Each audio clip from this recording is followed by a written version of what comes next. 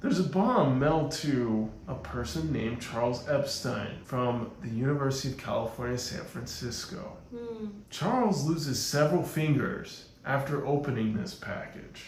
Hmm. Let's continue. A bomb is sent to a computer science professor at Yale University. That professor loses one eye, I or lo- loses sight from one eye, Surely. hearing from a, one ear, and a portion of their right hand. So you can just see we're continuing here, Mm. right? It's almost like bombing after bombing, bombing, bombing, right? Hey, Hey. I have another video, or Mhm. another story, I should say. Mm-hmm. I'm hoping this can be good. Theodore. Mm-hmm. He's born in Chicago, May 22nd. The year is 1942. He has working working class parents, and they're of Polish descent. Theodore, from first to fourth grade, he's he's a very bright student. Administrators say he's very uh, he's a very healthy, well-adjusted student. He's doing quite well. His parents have another son. About three years from then, they move to a suburb. The suburb is Evergreen Park, Illinois, and as a result, of course, Theodore went to a different school, but he's also graduated to junior high school. At this junior high school, he takes an IQ test and he finds, wow, everyone, his family, he finds that he has a high IQ. His IQ is a 167. So he's able to skip the sixth grade and move up to a higher grade level. You know, but in the sixth grade, he's like very, you know, he feels very in place. He's around his peer mates. He was a leader. He, he, he socialized with his peers a lot more. But when he moves up to this higher grade, he, you know, he's he's different, right? He's he's much younger. So as a result, he's bullied. He starts getting bullied by these kids, unfortunately. But nonetheless, let's fast forward to when Theodore's in high school. He continues to excel. He's taking academic very serious. He continued to push through the bullying and he's able to do very, very well in high school. Matter of fact, he says, you know what? I'm not going to allow this grade difference, this whole age thing get in the way. I'll still try to become active as a student. So he joins the marching band. He joins the mathematics club, biology club, coin club, and German club. He's very active as a student, as you can see. He's he's trying to push through all of this, right? And, and at the same time, he's trying to balance out, you know, being very smart while also, you know, Trying to do sports and other activities. yeah, he's trying to balance himself out. Mm. Perhaps make himself a little bit more well-rounded, Mm-hmm. right? Mm. And you know, his, he's it's it's quite noticeable. He's very intelligent. Even his classmates. Uh, he he has a classmate that says that a lot of his peers just looked at him as a walking brain. They didn't even look at him as just as an individual person or you know just as a friend. They say he's so smart that he's like a walking brain. And it's true, right? Theodore took mathematics so seriously. He began. He, he continues to study it uh, for hours and hours, solving very advanced problems. And he actually gains his little clique of friends. They actually gain this name of the Briefcase Boys because they carry these little uh, like briefcases Briefcases. around. Yeah, and they look very studious, right, to everyone else. So it's true. He deserved that to a degree, and it continues to pay off dividends right? He's able to, he's, he skips the 11th grade and he's able to graduate high school by the age of 15. Ooh. Very, very smart kid. Yeah. He applies to Harvard, Harvard accepts him, hmm. and he receives a full, uni- full scholarship hmm. by the age of 16 to Harvard University. Wow. However, it's it's not that simple, right? I mean, of course you can be academically smart, but you know, peers and I'm sure Theodore notices like, uh, I still lack some things, right? I'm I I'm don't just feel in place. yeah. I, I, I still am uh, like in a way I'm I'm emotionally unprepared for all of this, right? I I don't even have a driver's license. Mhm. Like this is gonna be a different experience for me. I'm not ready for all of this. Nonetheless, he goes to Harvard University and he studies quite well there. And a lot of professors and students say he's very intelligent, but he's a bit reserved. He doesn't talk much. By 1962, Theodore earns his Bachelor's of Arts degree in mathematics, earning a 3.1 GPA. Mm. So he's quite young and he's doing he's doing very well. But you know, during his studies, I want to outline something that that is is very vital to a degree.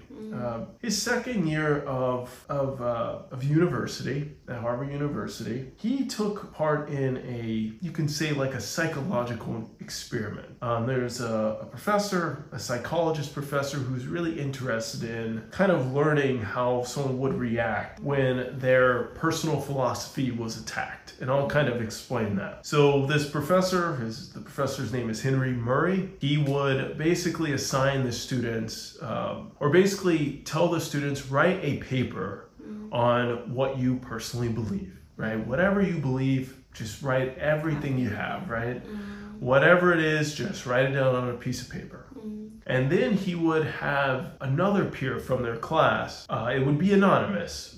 Another peer in their class would receive that letter. Okay. And, you know, the student that wrote the letter had no clue who would receive it, right? Mm. And then he would have the students individually sit in a chair almost. And the students that received the letter would then criticize that person. Just say a bunch of things about what they believed and just just went hard on this person, right? It was it was tough on. That's brutal. Yeah, it was brutal. Very, very, very brutal I can only imagine. Theodore took part in this for three years. Hmm. Three years. It's a class. It was an experiment. So you can kind of so it seemed like Oh. It, it actually seemed like perhaps this may have started as a class Mm-hmm. and then it was like, all right, now since class is over, join this Mm, join this afterwards, it's right? like club it's like a, yeah, it's like a it's like a extracurricular Ah, activity yeah. in some way, yeah. right? And I guess as a student, you can kind of say like, ah, all right, I'll, I'll do this, right? Um, perhaps if we look deeper into this, maybe we'd find that there was another benefit of as to why Theodore and other students continued to participate in this. But from what we know here, it's like, yeah, you just continued to participate despite the downfalls that Yeah. could come. And um, to be more exact, Theodore spent 200 hours. he put in 200 hours into this experiment. Wow. Yes, it's a lot of time. somewhat very unhealthy, or not somewhat, but very unhealthy. Yeah. But you can kind of see where we're kind of going with this so far. Mm-hmm. He, unfortunately, he was very smart to the point that he was kind of isolated. Here you are moving up different grade levels, different Mm-hmm. grade levels. You have nothing in common with your peers now because you can't speak to a 16 year old expecting Yeah, them to understand what college is like. I know. Or even when he was younger and he got pushed up, Mm. right? Uh, he skipped the sixth grade. You're missing out on that, and then you're around a bunch of kids that don't understand you, that are looking at you as like, all right, you're just wow, you're different, you're weird. Like I can't even be your friend because you don't really understand what it feels like to be 19 or 20, Yeah. right? And then he partakes in this study. Mm. That makes him feel like, man, this is like now I'm being basically like humiliated Mm. about what my Thoughts thoughts are- are outside of academia. Why would he do it for three years knowing that he's being criticized? But at the same time, I guess we can kind of look at it like he's young. He's like not just young, young, like, or not just young as in, Mentally. oh, he's just 20. Yeah. No. If you're like 16, 17, Mm. and a professor, you know, you're new to college, Mm. professor says, hey, Theodore, Would you you like know, to participate in I'm, this? yeah, I'm sure he had a hard time Saying saying, no. no. to things. Mm. Being that age, Yeah. right? That's hard. So, you know, again, there are probably some other factors that come Mm. into play, but just that alone is hard to reject, Yeah. right? Because we can all think about how we were younger. Mm. When o- older people told us, "Hey, you should do this," we, Mm, a lot of us like, listen. yeah, a lot of us just like, blindly okay, yeah. listen to someone Mm. right? Nonetheless, right, he continues, he's able to graduate as I told you, and he's like, you know, I I still enjoy mathematics very much. I enjoy academia. So I'm going to go ahead and pursue a master's degree.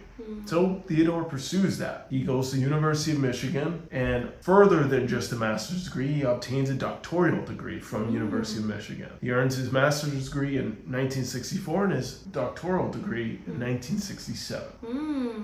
right? Although it wasn't his, uh, University of Michigan wasn't his his. Uh, university. yeah, it's it's not his dream university, Mm. but he's like, well, they offered me uh, more scholarship money Mm. And and a teaching position. Oh. right? He really wanted to go to, you know, University of California, Berkeley or mm-hmm. University of Chicago, but they just they weren't offering him anything. So he's like, all right, I'm not gonna deal with that. I'm not gonna deal with them uh, because they're just not giving me enough. Yeah. During his studies, he's like really partaking in. He really partakes in very specialized fields of mathematics. Uh, some of which I don't even know how to like break it down. Obviously, you would have to be an advanced math mathematics student, but it's uh, he was in geometric function theory. He's very much so. He's very much so a great student, even to the professors. A lot of professors really said he's just a very brilliant, smart kid. Another professor says he's like the best student I've ever had, basically, mm. like best man I've, I've seen. Uh, you know, and these are like advisors, you know, basically mm. like when you're a master's student, you know, obviously you have like someone mm. leading your research, or even when you're a doctoral student, you have someone kind of helping you with your research. Mm-hmm. And so these are the professors that are basically complimenting him. So he's a genius, basically. Yeah. Theodore is a genius Yeah. right? And uh, but you know it's interesting because Theodore still he after when he finishes his studies he kind of reflects and thinks he actually had a negative. He says yeah, I I. I have a I had a negative experience with the University of Michigan hmm. because uh, he's he wasn't impressed with his grades. He's mm-hmm. he's thinking how could I achieve 12 A's, 5 B's, and 1 F? The school's just crazy easy at grading. Why are they mm. not trying to grade me more? Mm-hmm. So it's like you kind of get this sense of like he's kind of beating himself, mm-hmm. right? He's mm. Theodore's kind of beating himself a bit, and you kind of see it here. Um, for several weeks in 1966, Theodore starts wrestling with these sexual fantasies of being a woman, and he actually thinks maybe I should undergo a gender transition. Maybe I should actually undergo this. So he, he like arranges a meeting with the psychiatrist and he's like, all right, I'm really thinking about doing this. All right. But uh, during the during his wait in the waiting room, he's like, I, I can't do this. What are you doing? You mm-hmm. can't. You can't undergo this transition. Mm-hmm. So he becomes so upset with himself for even feeling like this, right? He becomes like mm-hmm. so upset that I even thought about even transitioning. I had these sexual fantasies. What am I doing, right? But as he's going through these thoughts, he's still rolling through academia, right? He's still very, very brilliant. And by 1967, Theodore publishes a dissertation called Boundary Functions. It wins awards. Um, He wins a Sumner B. Myers Prize for it. Um, it's like classified as the best mathematician dissertation of the year, right, in the entire country. So he's like still very successful at mathematics, but are you kind of getting this sense that he's internally like Not really He's like he's like ruined in a way internally. Are you kind of getting that sense? he's not like really proud of himself Right. because from the moment he started to say that um this school is not like literally giving me more like Yeah. it's not Like they're being too di- easy yeah, on it's me. not that 'cause difficult look at my grades. Why are you guys? You know, why are you guys giving me A's? Like, come on. yeah Like he's yeah, he doesn't believe the hype. He mm. doesn't believe. Everyone else is telling him you're a mm. genius, you're doing great. it's like no I but he's like, better. come on, come on, Mm, no, this stop, is nothing yeah stop. This is this isn't anything. Just mm. stop. But you know, as I told you, he wanted to eventually teach. Right, that's what he wanted to do eventually. So, by the age of 25 in 1967, he's an acting assistant professor for the University of California, Berkeley. He's able to, he went to teach to this in the school that, that he didn't actually give him money. Ah. yep. They didn't really give him as much Alright. money or a teaching position. Mhm. But eventually, once when he was done with, with that, uh, like his academia as a student, so he just came and taught there yeah. ah. So yeah, he he was like basically the youngest professor in mm. history at that mm-hmm. university at the time, mm-hmm. right? He was he was on the track of tenure status, but the school's realizing based on his like evaluations from mm-hmm. students he actually isn't very well liked. Mm-hmm. Students don't like how he teaches. They think he's just a little too uncomfortable. He mm-hmm. reads straight from the textbook and he just outright refuses to answer students' questions. So he's not getting the highest praise uh, from the students, and perhaps this leads to his resignation. He, He resigns. He resigns by June 30th, 1969. And the chairman of the mathematics department speaks to his advisor, speaks to Theodore's advisor. And he's like, like basically like, man, I was like, Brando, like what happened? Mm, Why, did why, you yeah. why did you just quit? I mean, I understand he was a very shy person. He didn't really hit it off very well with people overall, right? He, Theodore didn't have this personality to be super, yeah, super close to the, the staff. Um, but overall, he's thinking, man, I like, I was hoping that we could eventually get him up to speed with being friends with the colleagues and so forth, but it just never happened. Very unfortunate. So Theodore, after his resignation, he's like, "All right, I'm just gonna, I'm gonna move back home hmm. with my parents." Right? He he ends up moving back home with his parents, and matter of fact, he stays there for about two years. Thereafter, he's like, "Okay, I'm able to, I was able to live with my parents, kind of hmm. get back on my feet, kind of just tune out all the noise, yeah, right?" remove all that negativity and all that. But it's like he still, it, it's it's like he still feels like it's not enough. Yeah. right? So I'm gonna actually move to a place by myself. I'm gonna go to a remote cabin hmm. and live there. And that's what he does. He moves to Lincoln, Montana, where he just he has this this idea, this this dream of just living a very simple life, not even needing like a lot of money, like very simple in the sense of not worrying about electricity or running, running water, right? But he still had to fund this, right? Somehow, so he ends up working like odd jobs. Um, he- Mm, I think that smart person is doing like the part time and what's not. yep. The normal world was not like It's crazy. yeah, Yeah, it was. it Yeah, didn't he just suit him. He right. didn't feel so he's like this is just too much, right? Wow. So he moves out there. His parents end up supporting him significantly financially, right? Because I mean, how are you going to keep how are you going to keep Mm. Yeah. yourself up basically? Mm. But he still has that goal of being self-sufficient, living autonomously off the grid, right? By 1975, right? So let's just fast forward a bit. So he's able to finally gain that self, you know, self-sufficiency, Mm-hmm. right? Mm-hmm. Because he's been living in this cabin for a while now, right? He's been Yeah. living alone in isolation and he wants isolation. You can kind of get that sense. So by mm-hmm. 1975, he starts performing these acts of arson and booby trapping mm-hmm. against any kind of developments that come near his cabin, right? He's like, no, I want to be left alone. He starts reading about, you know, sociology and political philosophy. He's like really into this. He's really into it. His brother notices and says, man, he treats this this book, specifically the Technological Society by uh, Jacques Ellul. He treats this book like it's his Bible. Like he loves this book, and uh,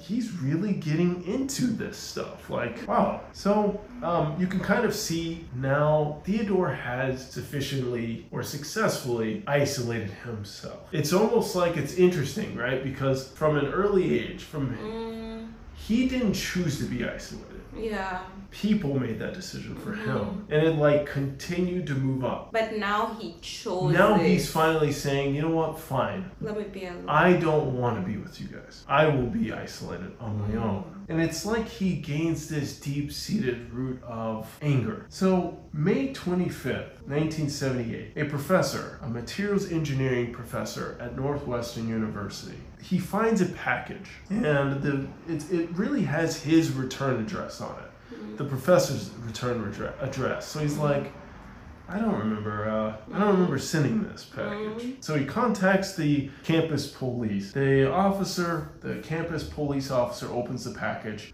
It explodes, causes minor injuries to that officer. And So this professor received this package, but was like, Yeah. "Ah, this is so weird. Mhm. It has my return address, so like, I am not opening this. Let me let me call someone else to open this package." And mhm, boom, yep. Ooh, By this time, Theodore has returned. He returns to Chicago and stays there to live and work with his family, basically. So he's living with his father and brother, and he's they're basically working at like a foam rubber factory. Subsequently, after that, though, he gets fired from that. His brother has to fire him because he's uh, basically insulting this other woman that works there. Um, he thought they had something going on. She's like, no, we don't have anything going on. On. Um, so his brother finds that Theodore is writing these really bad insults on these papers and leaving them around the leaving them around the factory. So he's like, okay, You need to go. I'm sorry, Theodore, but I'm gonna have to fire you, big brother. I'm sorry. You're fired. And that's that's a big hit, right? Mm-hmm. It's not easy losing the job, specifically working with your family. Yeah. But Theodore continues. He's like, all right, life goes on, mm-hmm. right? Now let's fast forward to one year after that initial bomb went off. There's a concealed cigar box on a table. Mm-hmm. Imagine that. The Northwestern University campus. Once again, right? A graduate student by the name of John Harris opens it and explodes. So it's like we're finding these like mysterious bombs Mm, Throughout, right? Mm, Well, not even throughout yet, but it's like at one university, but it's like aimed at different people. I guess that's what I mean by throughout. It's like this is now a student. this is like yeah, it's like a random graduate student. What is going on, right? And let's fast forward one more time. 1979. The American Airlines staff or the pilots noticed smoking, right? Some like smoking coming from coming from like the cargo hold area of the mm. plane. And so like, okay, we have to stop this. We have to land this plane. This is an mm. emergency landing. Where's the smoke coming from? Mm. Right? This is dangerous. Once when they land, they find the object and they're like, man, if this would have gone off, the whole plane. the, we would have been obliterated. Mm. They were saying this thing is so powerful, we could have all hmm. blown up. Only reason why it didn't go off was because there was like a, a, a faulty timing mechanism, right? With the plane that caused that bomb not to trigger off, which is really interesting. Subsequently, after that, the president of United Airlines receives a bomb, right? Mm-hmm. It leaves cuts and burns on the United Airlines president. So now we're kind of starting, at least we have four cases, right? Of just these bombs that are going off. Are you, Right, co- weird. Why? Why an airline? why do you think? I don't know. Like, it's not like he knows someone from there. It seems so random. Like the Seems so school, random. because because of course right now we know it's him. The things that he was reading and Right. whatnot. But the school, okay, yeah, probably because it's a school, it's a university. The professor, blah blah blah. Understandable. An airline An airline. What do you think he could be aiming for? with an airline. Yeah. Honestly, I don't know. I'm trying to think, but I can't see it. Okay. Maybe it's a theory. It's a theory. Yeah. What do you mean? Like, you know, he's smart and then he's just trying to prove a, a certain theory. I don't know. Because Okay. I, I don't think it's a beef with the airline per se and whatnot. I think he's just trying to prove. like a theory, what do you mean a theory? You Like, see, like how they say, oh, I don't know how to explain. go but- ahead, go ahead. But yeah, I just think it's a theory. Like he wants to see a certain reaction. Okay, if this blows up here, what like How would it be? yeah, Okay. kind of thing. Keep that thought. Yeah. Just yeah, you just all right. That's that's okay. Mm-hmm. All right, let's continue. It's 1981. A package with a return address of a BYU professor of electrical engineering is discovered in a hallway in University of Utah. So there are two different universities, mm-hmm. right? But the, there's a package that's mm-hmm. for a BYU professor mm-hmm. found at this other university. So that one is also brought to the campus police, but mm. luckily that is defused by a bomb squad Oh. Right? But let's continue. There's another bomb sent to a computer science professor at hmm. Vanderbilt University. Hmm. That package explodes on the secretary of the professor. Explodes on them. Oh yeah. It causes injuries to her face and arms. Oh yeah. Let's continue. Why is it?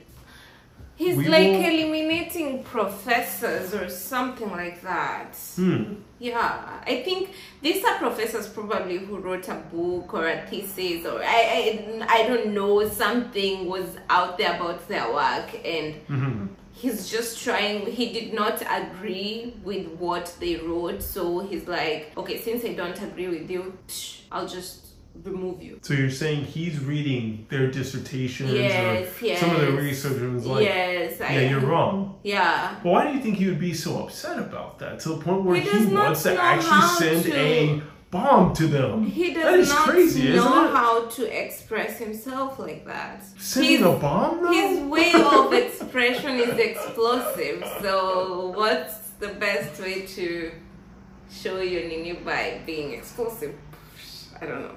I don't know. I don't know. But I just think that it's about their work, and yeah. I just It's about think their it's, work. yeah, I think Okay. that he does not agree with with something they wrote or something. I just have that feeling. Right. yeah. Okay. All right. Okay. But he's continuing to do this, Mm, right? yeah. Matter of fact, he brings it a little closer to home. Remember University of California, Berkeley? Mm-hmm, mm-hmm, mm-hmm. Well, he sends two bombs there, Mm, right? Mm-hmm. One is aimed at an engineering professor, and another is aimed at a graduate student and a captain of the United States Air Force. Oh yeah, why? That captain loses four fingers and vision in one what? eye of the United States Air Force. Does he not? Okay, uh, okay. Loses one eye and No, he loses his vision in one eye and loses four fingers. oh yeah. Yes. But these are sent at different times. The 1st one was sent in July 1982. Mm-hmm. The second one sent in May 1985. Mm, mm-hmm. Right? Mm. And these, you can kind of look at these bombs as like being crafted out of like wooden parts. Right? So they kind of seem like these are kind of made from someone's like garage or something. Like they don't really seem like they're coming from like some kind of tech company, like low key, discreet tech company that has this top quality material. This is someone working just. This is somewhere. like someone who's making these from Yeah. a garage or something, Mm, right? So let's continue, mhm. right? And I'll just keep going over these instances. You'll Mm. notice. Bomb is sent to Boeing Company, Mm. the, the airline. Thankfully, it was defused, right? A bomb is sent to another professor, Mm. right? And it was, and it does explode. Mm. 1985 of November, uh, there's a professor and the research assistant of that professor. They're both severely injured by a bomb that is sent to them. Mm. It's interesting where we're going with this. I'm just gonna. It's just professor, It's just- either an airline and professor. But what are you? What do you think? I there's. think What this, is that? Then? These What professors wrote something about a certain thing about. Uh, I don't know. I'm What do you trying think to it is? Do you think he's protesting something? yeah. What do you think he's protesting? Maybe it's a certain motion or something that was written about air and something. Do you think this man would literally try to kill professors or airline uh, affiliated people because Yeah. of some kind of like theory. scientific Yeah, yeah. And he's trying to say like, no, you're wrong. So do you think he's only going after professors and airlines? I and and students maybe who supported it. I don't know. Hold that thought then. Yeah. By late 1985, hmm there is a nail and splinter loaded bomb in a parking lot of a computer store in Sacramento, California. It kills the store owner. The store owner is 38, but he's killed by that bomb, right? Now let's fast forward. A, a store. Yes, a computer store. Okay. 1987. Mm. And a bomb disguised as a piece of lumber basically tricks this person by the name of Gary and it ruins their entire left arm. This is this bomb was also found in a parking lot of a computer store. However, it's in Salt Lake City now. Salt Lake City, Utah. And at least 200 pieces of shrapnel enters his body. That's how bad that's how bad the Explosive. yeah, that's how bad it was, Mm. right? Really, really bad. And the good thing about this, like there's a there's there's a thing that happened, right, Mm. during this one. Cuz someone saw a man put this this object down in a certain place there. Mm, This man was wearing sunglasses and he had like a uh, like a mustache, right? But he had like aviator sunglasses and a mustache. mm, Let's hold that detail. And I'm, I'm sure this individual that was planting that was like, okay, hold on a second. I feel like someone saw me. mm. So guess what? The bombing stopped for six years. Of course, he's smart. right? Yeah, he's smart. But why is he targeting computer stores? Let's see. By 1993, after a six year hiatus, there's a bomb mailed to a person named Charles Epstein from the University of California, San Francisco. Charles loses several fingers after opening this package. Hmm. Let's continue. A bomb is sent to a computer science professor at, the, at Yale University. That professor loses one eye, I will. or lo- loses sight from one eye, Surely. hearing from a, one ear, and a portion of their right hand. So you can just see we're continuing here, mm. right? It's almost like bombing after bombing, bombing, bombing, mm. right? And one of the last to note was a individual who was killed. This individual was killed from opening a bomb that was sent to their home. That's sent to their home in New Jersey. Oh, yeah. By 1995, Theodore starts sending out letters to multiple, I mean multiple media outlets like mm. newspapers mm. and so forth. And he's telling these people, publish this paper I wrote, publish this paper. It's 35,000 words titled Industrial Society and Its Future. And he states in this essay, if you will, that I will stop the terrorism if this is met. If you guys publish this, I will stop. So he has already declared war. He has already said, It is me. I'm the one who's doing it, but not naming himself per se, but Right. saying, I've been the one The one who's behind this paper Yeah. is the one who's been doing the Bombing. bombings. So this paper obviously gets the FBI. so, from the smartest person to technically a serial killer. Well, this person, this this paper reaches the FBI, mm. and they're like thinking, should we publish this or should we not? Because like this is this is obviously scary. Yeah, this is to- a threat just to, the it- society. To just put it out there, but you named it right there. Mm. That's the reason why they're like, Yeah. we have to actually publish this yeah, it's because a threat. this is scary, right? We need to let people know Mm. what is going on. Mm. You need to let people know. And they're like coming up with strategies on how to get this published. Mm. How should we publish this? So uh, basically, like the owner of Penthouse, Mm. Penthouse magazine, Mm-hmm. some people may know, it's a adult magazine, Mm. basically. This person says, hey, I'll publish it. No Mm. problem. I'll publish it in our thing. and Theodore's like, No, this is not. this. Yeah. you're. You want to, if you publish it, I will pick it right back up. I'll start again if you publish it. That's what he says. He's like, I will publish. Wait, wait, wait, Uh, wait. if you publish this, I'm going to send out more bombs. They don't know Theodore's behind this. But wait, wait. How did he know that they wanted to use Penthouse, that magazine? And then he said that he, oh, if they do it, I will continue to bomb. I think this was, you can kind of say perhaps this was probably included in some oh, news in the stories. in the I think in some news stories. oh that oh like that discussions between oh, like oh, which which Yeah, is I going think- to publish yes, it? yes. And then he sent another letter saying that if this magazine. So I think he basically read some form of news that says, "Oh, mm. FBI officials are discussing with so and so, maybe about some bomb investigations, mm. maybe something." But they didn't include the publishing part, right? Because you don't want to mm. you don't want to tell the people, "Hey, we're about to release a uh, you know uh, essay from the bomber," right? But I think some of that correspondence was leaked, Mm-hmm, right? And so he was picking up. Wait a second, FBI is talking to Penthouse. New York Times, Washington Post, No, Penthouse no. has to be out of there. yeah It has to be out of there, Mm. right? No, that's not happening. yeah So he gets his wish. The Washington Post publishes the essay September 19th, 1995. And basically, what this essay says, mm. I'll kind of paraphrase a good mm. amount of it. Mm. He basically says technology has been destabilizing the society, has made life unfulfilling, has caused widespread psychological suffering. Wait a second. You were sending bombs to computer scientists, Mm. to electrical engineers, yeah you're bombing airlines. mm. Huh.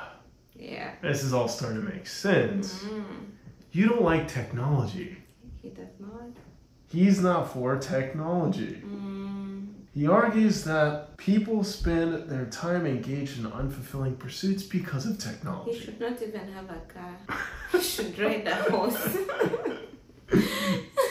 he should ride a horse. people need to stop striving for these artificial goals. Why would he go for for an yeah? Like he should blow up his own car and then use use. He says people donkey. are striving for scientific work or striving to achieve goals in scientific work. They're consuming entertainment. They're partaking in political activism. Let's go back to following being apes. sports. Like, come on. Let's go What are you guys to being doing? apes.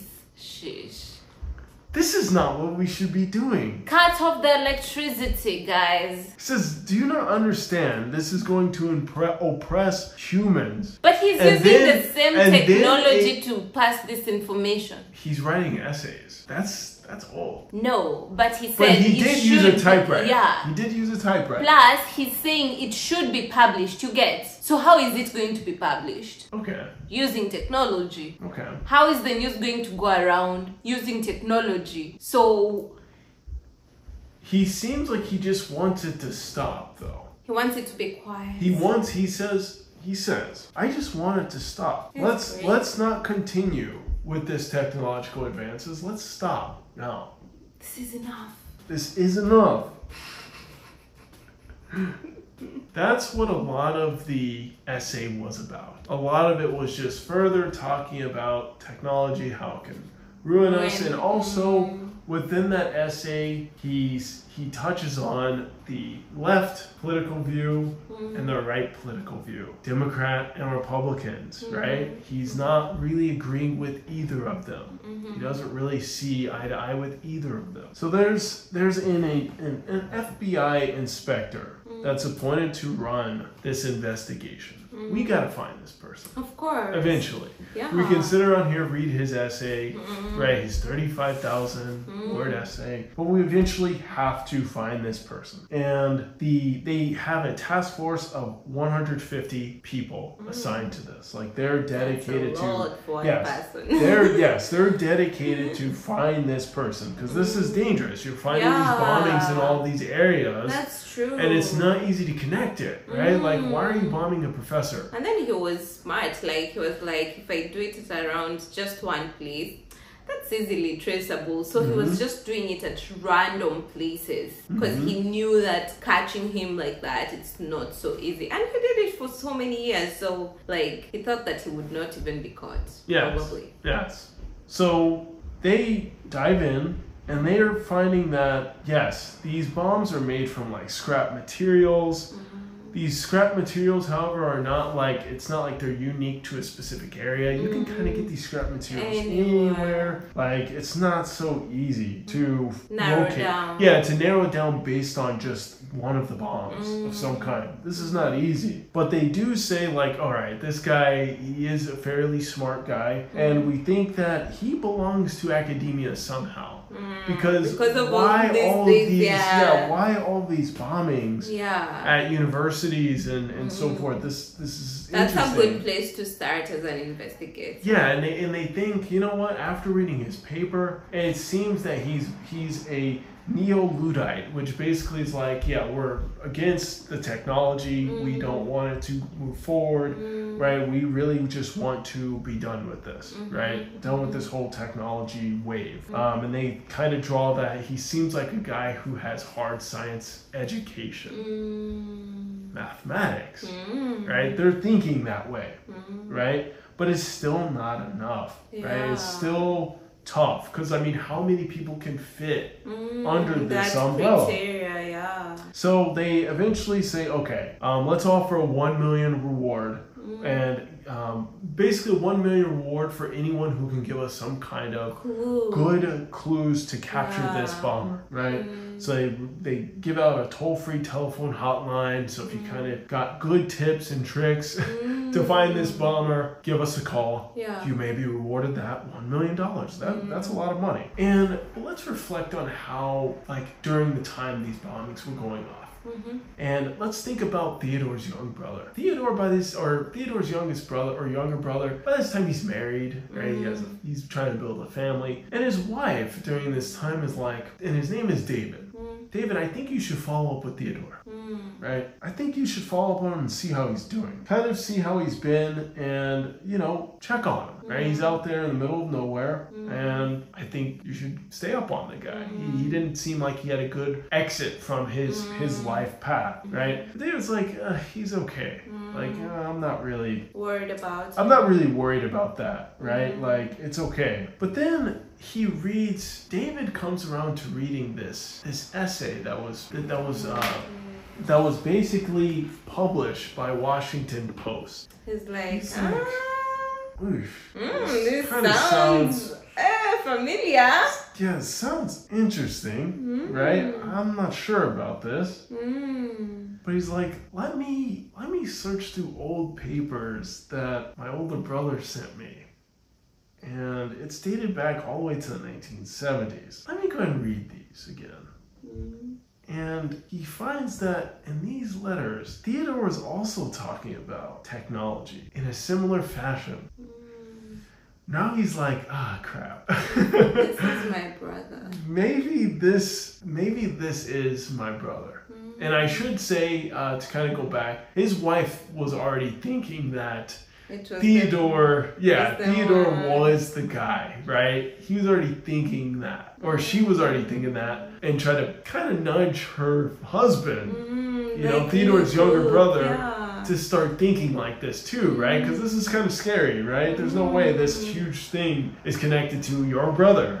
Like, I need you to look at this. So, David, Theodore's younger brother, starts taking this much seriously, much more seriously. Mm. So, after when he reads the essay, David, Theodore's younger brother, hires a private investigator and an attorney. And he's like, discreetly watch my brother, watch his activity. Because now I am kind of leaning towards this idea that It's here. Theodore is unfortunately bombing people. And I know his life path right now, I know where he's at.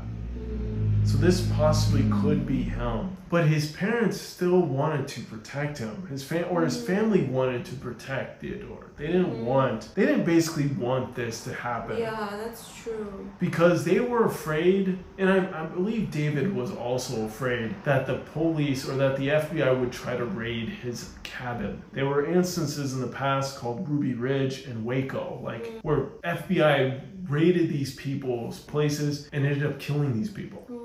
So they're like, you know, We at the same time, don't do this to yeah. Theodore because they may, you know, just Mm. completely ransack the place and kill him. Yeah. We don't want to see Theodore die like this. Like, Mm. we understand he's not up on his feet. We understand he's thinking kind of different. But David, Mm. it's your brother. Yeah. It's your older brother. Don't do this. Nonetheless, it continues. And David gives some of these papers that Theodore wrote in the past to these investigators. The private investigator, or I should say the attorney that David hired initially, that attorney seeks further kind of further help from a like a hostage negotiator, crime criminal profiler. And this criminal profile profiler is able to really compare the the essay that was And the- published and the and then the right yeah, the writing that was sent to David. Mm, And he's like, there's like a 60% Yeah. chance this is the same person mm, right? A 60% chance. And that criminal profiler says, but let me give it to my team and see what else they think. They say this is an even higher percentage, mm. right? This is I think this is higher than 60%, mm. right? This sounds, I mean, this this looks relatively similar. They're using the same mm. kind of writing style. It's it's very similar yeah. right? And so this, so just imagine a lot of these copies are like passed around to different um, professionals, right? Um, I'm, I'm, I'm thinking that the information is just leaking Right. slowly by slowly, slowly by slowly. so everyone's like thinking, ah, Yeah. this is like yes, they they they kind of have a similar writing style, right? This is this is like everyone's like kind of like I'm confident this is like the same person, but who is this, right? Mm, Right? well, not I guess not who is this, but like they're thinking this is the same person. Mm. Right? But I guess it's yeah, it's not like who is this? It's kind of like, but how are we how can we like really Pin nail it down to a point where we would be able to secure a search percent. warrant, Yeah. right? Because you can't just go off uh, inclination. Mm. Like and then take this to a judge and then be granted Yeah. a search warrant. You can't do that. Mm. It has to be a little harder than that, right? Meanwhile, David is like, I'm feeling bad, right? I, I've, Mm. I've, I have started this, yeah. Now So- the information has gone. but but at this point, it's too late. It's too Mm. late to back back down, right? Mhm. But I am going to ask this: Mm. try to keep my name yeah. right? Don't don't put this out. Mm. right? Don't let people know because if obviously if this is published, if my name is put out there, my older brother is gonna know Yeah, that I, that we've started this whole thing, and I'm the one that spearheaded it all. Mm. It's coming from me Mm. because for a, for a long time, David like looked up to his brother. Yeah. 'Cause he Theodore was the brilliant. Yeah, Theodore was- yeah. Went to the best schools. He's like, this is Yeah, by 25 he was he had Already a finished his professor. yeah, he was teaching literally. Wow. yes, he's like, I want to be like him. But then eventually, obviously, as Theodore be- Mm. began to live this life, It was this like, isolated ah, life, he's like, yeah. yeah, I, I can't, I don't want to be like him anymore, Mm. but I still admire him for the person he used to be, yeah. Right? Mm. I'm not going to let my love go away from my brother. Yeah. Unfortunately, his identity was leaked by CBS News in April 1996. Unfortunately. But by this time, they were able to secure a search warrant. They were granted the search warrant by the federal judge in Montana to search Theodore's cabin. So the news said that David supplied whatever these materials, believing that it's the brother. Blah blah blah. blah Yeah. Blah, blah. Oh my goodness, that's so sad. Yeah. Why would they do that? Why would why would David do that? This the news whatever. Oh, why would they leak the name? It- Yeah. It, just it's not right. it's carelessness or it's just yeah i mean i think it was just like all right like think of the you know the game like uh, i think it's called telephone Mm. oh so and so says like imagine they're like all right so we received x amount of documentation from uh, david we finally secured a search warrant oh yeah by the way don't tell everyone that it came from david all right the next person all right so we received they secured a search warrant they had all this material provided by david um yeah go ahead and so next you know like as this is being passed down that part may Information be is- that yeah. part of well don't say that it was david Yeah. kind of just slipped away perhaps Mm. that's what it seems. Right And then. April 3rd, Mm. 1996, the cops Mm. or the FBI agents knock on knock on the door of Mm. Theodore. We have a search warrant and they are basically able to access this cabin. Mm. Because Theodore's like, he looks unkept. He wasn't ready, obviously, for guests. Mm. Is he ever ready for guests? Probably not. Mm. Right? And then they're able to find bomb components, Mm. 40,000 handwritten journal pages that included bomb making experiments, descriptions of the crimes, and one live bomb. Was a live bomb. They find a typed manuscript Mm. of the essay, Industrial Society and Its Future. They're like, yes, this, is the guy. Yeah. The FBI, it's reported the FBI, this was the most expensive Mm. investigation at the time.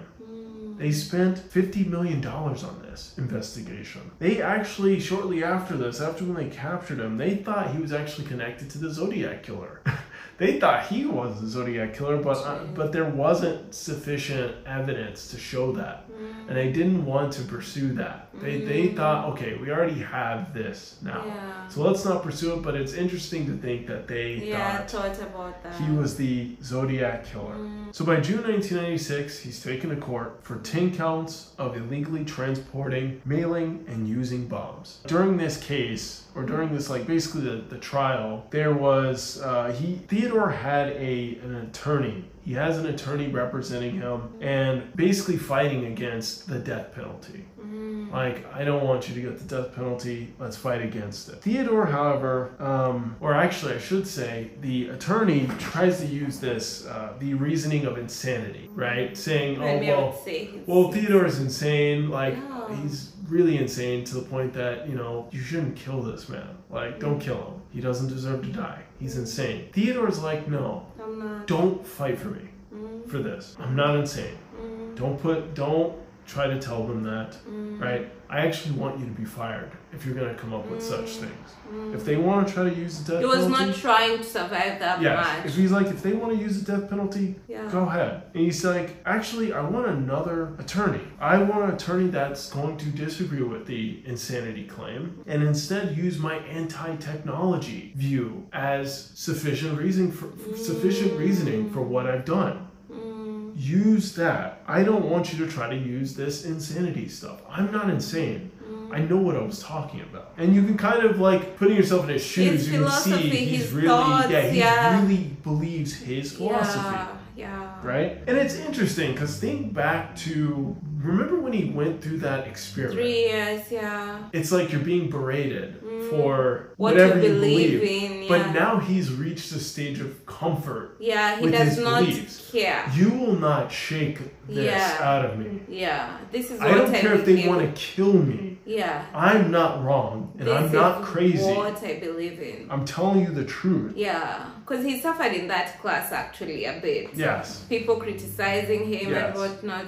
Yeah. Yes. Right now he does not care at all. But psychiatrists attempted to classify him as a schizophrenic, schizoid, um, having some kind of paranoia part of him, and he's just rejecting this. Mm-hmm. He even says that his family, they're trying to spread that too, mm-hmm. to try to get me out of the death penalty sentencing, and mm-hmm. he's like, no, they're wrong as well. I'm not crazy. There's nothing wrong with me. By January 22nd, 1998, he pleads guilty to all the cases, or to all the charges, and he accepts life imprisonment without parole. Hmm. In 2006, the judge orders Theodore's stuff to be sold, sold off in an auction. They already designated 15 million to go to these families who were impacted. Mm-hmm. So whatever money they earned mm-hmm. from selling Theodore's stuff, except mm-hmm. for obviously like the the bomb recipes and so forth, everything else, well, all the other valuable stuff or any other proceeds they could get would go to those families. Oh, it'll be added onto the 15. Yes, added onto the 15. Oh, okay. So the government actually gave out money. Yes. Ah, okay, okay. That's what it seems, yes. Okay. So he begins to live this life in prison. And very early in his prison sentence, he befriends two inmates. It's interesting. He befriends a inmate by the name of Ramzi Youssef and Timothy McFay. Ramzi Youssef was one of the people who took part in the World Trade Center bombing of 1993. Surely. And Timothy McFay, or Mc, Mc, I don't know how to say his last name, unfortunately. Timothy McPhee was the person behind the Oklahoma City bombing. And he starts just speaking philosophy with these individuals. And he just lives this life out in prison. June 10, 2023, Theodore is found unresponsive in his cell. Hmm. And the hospital pronounces him dead. Hmm. Prison officials believe that it was a suicide, but they also say that he had cancer. Oh. That's the story of Theodore Kaczynski, otherwise known as the Unabomber. Oh, he's called the Unibomber. Unabomber. Ah. So if you hear someone just say I think, Unabomber, I think I've ever seen like a series called Unibomber, but I've not watched it yet. I don't know if it's relate, related to this. possibly, I, It I've could never be. heard of it. You've never heard of it? Mm-mm. I think it's on Netflix. It's called Unibomber. We should watch it. Probably, yeah, we should watch it. Ooh, interesting. You mentioned that name, and I'm like, but I've seen this somewhere. I just never clicked it. Yep. Oh, interesting, interesting. But I don't think it's related to that. It might not be. Because it's a long series, it's not like a movie, hmm and it's not a documentary. Okay. Yeah. I'll be curious to know what it's about. Yeah, same here. But this is this is interesting. So he died. He lived his life in prison from 1996, technically, because he was arrested in 1996 Yeah. up to 2020. He died in 2023 last year. Ooh, he was that was 26 years in prison by that time. hmm Wow, wow, Mm-hmm. wow. Would you say that he's just like, uh, do you really believe he believed in those things? Yes, Same here. I do believe it because yeah. he. he didn't Because think about it, he had he was on the golden path, Yeah. right? A lot of people would want his life. They would want his brain. But what was the tick? What what made him? It's uh, I don't get it. What was made the- yeah the moment that made him become this? Hmm. Well, I mean, I think he found something to blame for his for the disconnect that he had with people. Mm. Like he found he kind of reduced it down to technology as the reason. Mm. Because as a kid, he was because he did get along with kids his age at Mm. first until they moved him out of Yeah, his they grade started level. to move him. Yeah. So I think after that, he was just incapable of, of like gaining any kind of closeness from people. Mm. And I think as he got older, he formulated that. Like he's like, oh, it's probably because of this, and then Yeah. and then this, and then this, Mm. And that all kind of combines in into this- technology. If he was in this generation, he'll be like, everyone is on his phone, blah blah blah. No one is I mean, for sure. I mean, the man just died last year. He knew about iPhone, and I'm sure He sure was in jail though. It's not like he heard about this stuff. He heard about it. Yeah, he's like, oh, my course didn't go through, didn't work. I tried, I tried, it didn't work. But yeah, It's just interesting how it's sad. how he was set on this trajectory. Mm. Um, he could have been a great person. Does this teach us that? Don't push your, your kid even if they're smart to just push them to other levels and other levels because it might take a toll on them or what. I don't know. I mean, I think this is a good lesson to learn people skills Mm. But if you're not, because he was very smart, but I think that is what they could have taught him in school. And that's what I'm saying. You could Mm. teach him people skills that so that even though he's talking to people three years older than him, Mm, five years older can, than him, he he can. at least try to navigate the the, the, communication Yeah. portion of it all. Mm. From what from what his 16 professor said, Mm-hmm. and the students didn't like him. Like from what everybody basically said was that he didn't really talk. Like he didn't really Yeah, know they how to left talk. a 16 year old in university without any friends, anything. It's lonely. Yeah. And it's only that, I think that was the start of it. And being smart like that Yeah. can be lonely in and of itself. Yeah. But if you can't express yourself, you can't really talk that well to gain, That's so somebody to be your yeah. friend. you're gonna be in trouble, Mm. right? Mm. So here he is, like dealing with these thoughts in his mind all day, being by himself. His only like feel good moments come from like solving math problems. Mm. Eventually, you're gonna be tortured by your own self True, within your own brain. Mm. So it's like he came up with this thing of if we just get rid of the technology, if we stop Everyone going this path, okay.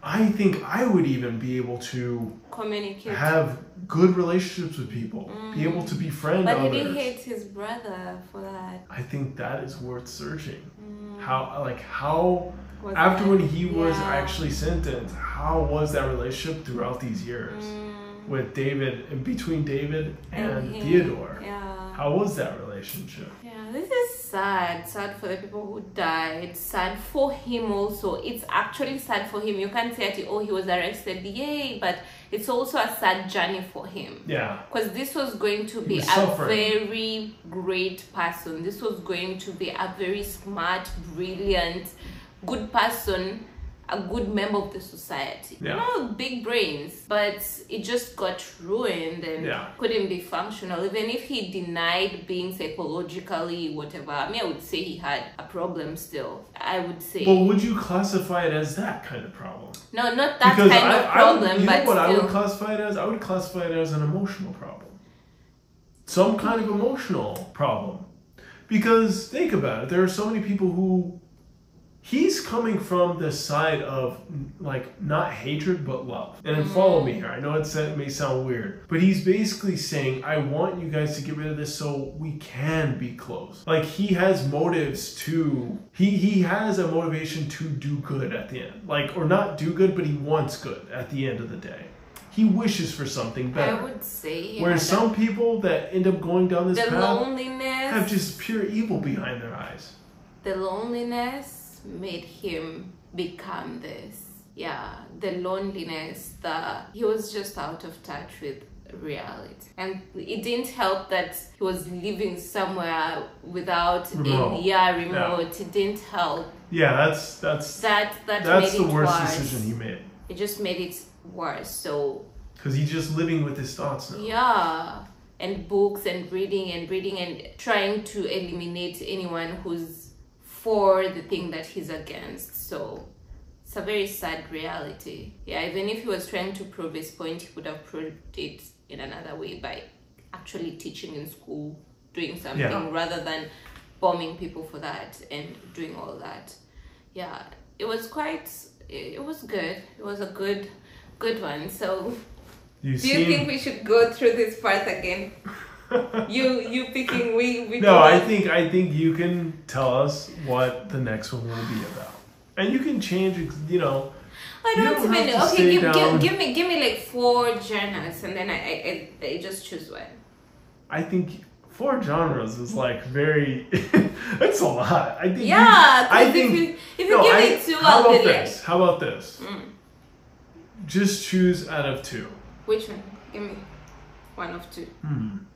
it's tough to just come up with out of the blue. Yeah. But how about this? Do you want a story that is kind of further down the path of, of uh, murders or people going missing or something of that nature? Do you want a more positive story? Mm, that one. Positive.